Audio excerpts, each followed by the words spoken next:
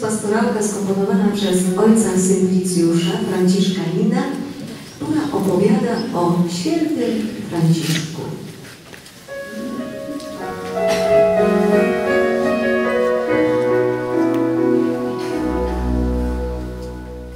Gdy nad ziemią już zapadła ciemna noc, w śnieżnej bieli świat spowiła święta noc.